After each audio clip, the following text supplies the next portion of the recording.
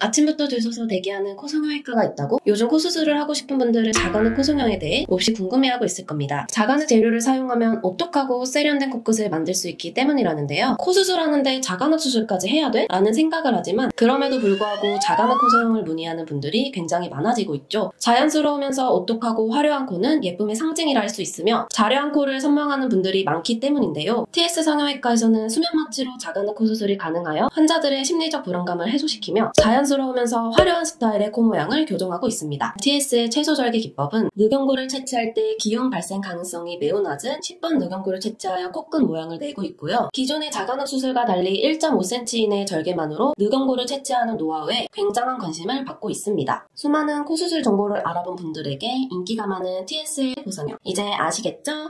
지금 예뻐져라 TS에서